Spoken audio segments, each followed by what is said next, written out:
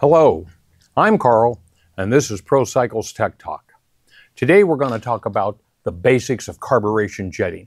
We hear a lot of misunderstandings about it, a lot of people approaching it the wrong way. We're going to go over the basic, the fundamentals of what jetting is, what stages of jettings to look at, and how to make the corrections that might be necessary.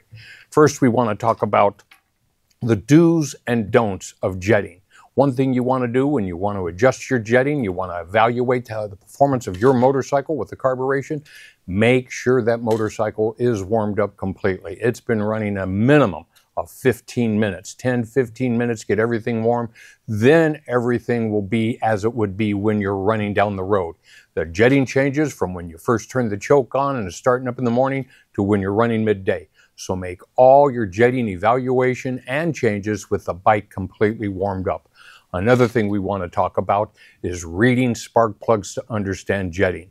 Reading spark plugs is a valuable information for race bikes, guys, especially with the two stroke race bikes, but it's kind of a lost art with street bikes. Today's gasolines have so many additives in it that really will give you a misconception of what the jetting is on the bike because you've seen the commercials. The, the gasoline has burn clean, anti knock, all those things for fuel injected vehicles doesn't work real well with motorcycle. It's always going to be a color that's misleading to understanding what the jetting issue is. So let's take a first look at what the jetting stages are. There's three stages of jetting on your carburation. There's idle, real low RPMs, there's mid-range, and then there's top end. Idle and real low RPMs is controlled by the fuel mixture screw. And that means it's idle and low RPMs is just about the time you let out the clutch to get going.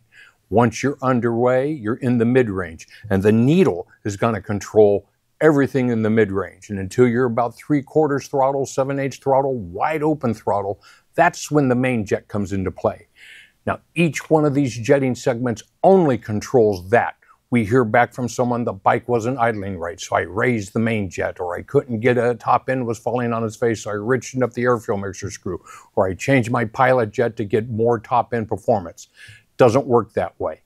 Each jetting category has something that controls the jetting and the function of that RPM range, and that's the only detail you should change. So if you're having a problem, you don't feel there's enough top end, that's a main jet consideration. If it doesn't idle good, it doesn't want to warm up quickly, that's an air fuel mixture. That's going to be the adjustment. Everybody rides in the mid range. and We hardly know anybody that rides at wide open throttle or anybody that rides at idle. Everyone's in the mid range, and that's the lion's share of performance. That's the key piece to the jetting that you're going to want to pay attention to. And all the jetting manufacturers have their own needle they design to work with their jets. One thing we also don't want to do, speaking of jet kits, is mix jet kits. We don't want to take the jet out of JD's jetting kit and work with the needle on the, the, the Dynojet jetting kit. Everybody's designed their jets, their tapers. They all look the same, but there is enough change in the needles and jet configuration from each jet kit that it's going to work correctly and best with that jet kit only. So you never want to mix jets. You never want to take a jet from this and, oh, it says it's the right number. I'm going to put it in here all main jets are made a little bit different size. Even though they all may say a 110, somebody's 110 is going to be bigger or smaller than the next guy's 110. There's no cross-reference charts. There's no rhyme or reason. You just want to follow the jetting information from a jet kit and their jets and their information. That's going to give you the best performance. Now, when we change jets and you want to open up your carburetor, you got to take those screws off I highly recommend get a good quality JIS screwdriver. The stock screwdriver is, or just a regular Phillips head screwdriver, as a lot of you have probably experienced, just strips out those screws. A JIS is going to do it the proper way. And we've already got the float bowl kind of loose, and we're going to open it up here. And we're going to, as I fumble again, there we go. We've got the floats out of the way. So we can see inside that the fuel goes into the fuel lever. That's where your fuel line goes into. And as I've highlighted with a little bit of purple here, it kind of comes around and it comes up to where the float valve would be. That's going to be inside there. That's what fills up the float bowl when the carb's upside down. And that's where the pilot jet and the main jet will drink its fuel from. It's going to be sitting in that float bowl kind of like that. It's going to drink. And that's what controls. Again, when looking at, at the jetting, When you change the air fuel mixture screw, it picks up the fuel from the same internal vanes that would feed the pilot jet. So those two kind of work together, and that's where it gets the fuel from. But when you make your jetting changes, we don't want to evaluate one stage at a time and make one change at a time. We don't want to say, oh, it's not running good at high RPMs. I'm going to make the main jet bigger. I'm going to adjust the air fuel mixture screw, and I'll move the clip position on the needle. You're going to get more bad information that's going to get you farther out in the bushes than you were to start with. So we want to make these changes one step at a time. It will be a little tedious, but when you're done and you follow the instructions from the jet kits, the bike's going to be running perfect, going to be running optimum. The next thing we want to take a look at with jetting that kind of confuses everybody is vacuum operated carbs. Majority of the motorcycles out there that still have carburation, they're vacuum operated carb. The slide moves up and down without the use of the cable the throttle cables actually only open up a butterfly valve, which creates a little more RPMs, creates the vacuum, which will open up the slide.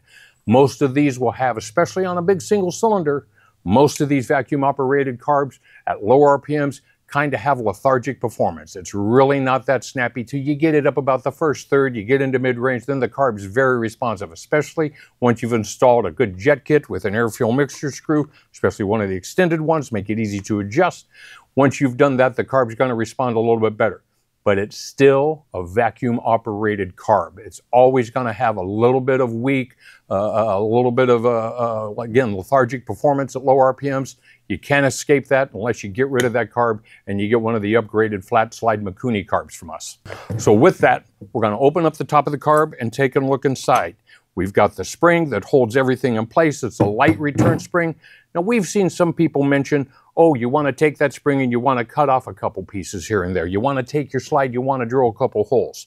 That will make the slide react a little bit faster. It will go up a little bit better. Obviously, spring with less resistance in it is going to respond a little bit quicker to the vacuum and it's going to have less resistance. It's going to open up that slide a little bit quicker.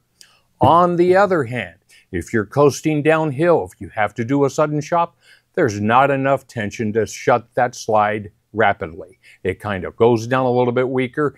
It, the performance gains that it, it, potentially has isn't worth the, the, the possibility of not having the sharp carb shut off as fast as possible. We don't like cutting links off the spring or drilling holes in the slide. They work fine just the way they are, and, and we'd like to keep it that way. Now, the needle, again, the needle does the lion's share of work, and the Jet kits all have needles with clip positions that allows you to richen or, or lean out the carburetor in the mid-range. Again, that's going to control mid-range performance only. So once you're riding, you do a little evaluation, you're purring along, and we'll show a little illustration where to determine your RPMs on your throttle housing to understand what changes you may have to, to get. You want to go along mid-range, just kind of cruising along. Does it hold a nice steady RPMs? Is, is you know, you're, you're getting good performance. Is there a little bit of surge? Is there a little bit of dropback? Does, does it have a little stutter to it? That's what you want to evaluate. What we're looking for is just a nice steady RPMs, a nice easy cruise in the mid-range. You can raise it up a little bit, see if it cruises again. That's perfect. That's what you're looking for. Again, you don't have to read plugs. If it's running great with you, doesn't matter what the plug says. You like the way it performs. So again, we're looking at the inside of the carbs and the choke and the air fuel mixture circuit that operates uh, that valve there. It's on a variety of these carbs. That valve there is what's going to operate your vacuum petcock. If you've got a mechanical petcock, we just plug that up. We get a something a rubber plug put over it, seal it nice and tight. Some people like to just leave a little hose on there, push a bearing down in size. Want to seal that off completely so it doesn't draw the vacuum from this and give you all kind of the RPMs won't want to idle right, nothing's want to behave right until you get that shut off. Again, with a mechanical petcock, you want to make that adjustment. So let's take a look at what to test. You've evaluated the, you, have let the motorcycle warm up completely, and now you want to go out. You want to just take off, just ride like normal, run it up through the, the, the gears, uh, you know, as, as, the streets and conditions allow. And you just want to kind of do a nice steady roll on with the throttle. You get it in about second gear, third gear, just do a nice steady roll on. Not stab it wide open and not too cruisy. We just want a nice steady roll on up through the RPM range shift it to the next gear. Again, a nice steady roll up. Those two RPM ranges should mimic each other. They should pull nice and steady. Again, let's start in second gear, shift to third gear. You'll get a good evaluation of what the motorcycle carburation is doing with just those little changes, just that little uh, evaluation right there. If it pulls nice and steady up through the RPM range, no problem. You've got it set. Again, when you get to wide open throttle, does it pull nice and strong? Again, a lot of these single cylinders, people say, ah, I hit high RPMs, and all of a sudden the ignition cut off. You run up against the rev limiter. You've bounced off that, and so it shut the ignition off till you back the throttle off a little bit, let it calm down and it catch again. But we hear a lot of guys, especially with jet kits, all of a sudden it doesn't run good at high RPMs. Well, actually, it's running so good, it's bounced off the rev limiter and you got to back it off. You, you, you've, you peaked out right there because now we're getting more power. Now we can get past the weak spots that it had before with just the standard jetting. That's the benefits of the jet kit's going to do for you. What we've done is we've added a little piece of masking tape to the throttle housing and we've made a line across the top that matches a line we've drawn on the grip, which is a shut throttle. It's closed all the way. And then we open it up all the way open and we make another line that's wide open throttle. So we know where all the way shut is and all the way closed. Then we've also divided it in half and then we've divided it in quarters. So when you get cruising along and you're going to evaluate what my bike's doing at what RPM, don't depend upon your senses to say, oh, this feels like mid range or mid RPMs. Make sure you look over here and say, I was at half throttle when I felt this condition, or I was at three quarters throttle when I felt this condition. That's what you want to look for. Make this little indication. Most bikes don't have a tach. This is going to tell you where it is. Plus, that's easy to match up that it was at half throttle to know what's going inside the carburetor. I wasn't at wide open throttle with the slide out of the way, and you know the the needle's just a spectator at that point. The the air fuel mixer screw doesn't even know what's going on at that point. It's all main jet control. Whereas we're going to be back down here where we're like a quarter throttle, a little under. That's going to be the air fuel mixture screw. That's what's going to control the RPMs or get rid of the stutter and the blubbers at those RPMs is adjusting the air fuel mixture screw. And again, the lion's share of riding is always going to be in the mid range. You're always between quarter throttle and three quarter throttle for riding. That's about 90, 95% of your riding street off-road RPMs are in that range. Very little times you grab full RPMs, unless it's something situation where you got to get out of the way real quick. But all your day-to-day writing, again, 90, 95% of your writing is going to be in this mid-range. Making this little masking tape adjustment that you could have on your throttle housing to correspond with what your grip says is going to let you understand where the issue might be, and that helps you identifying how to correct that issue and get the carburation correct again. Now we're going to go take a look at some of the other details inside the carburetor. We're taking a look here at the front, the airbox side of a carburetor, and you can see here's where the fuel inlet goes into, and I've identified in purple where it kind of travels through in little internal tunnels, and it comes out there. That's where the float valve would sit inside your carburetor with the floats attached to it, and as the floats go up, it shuts off that fuel valve, stopping the fuel flow.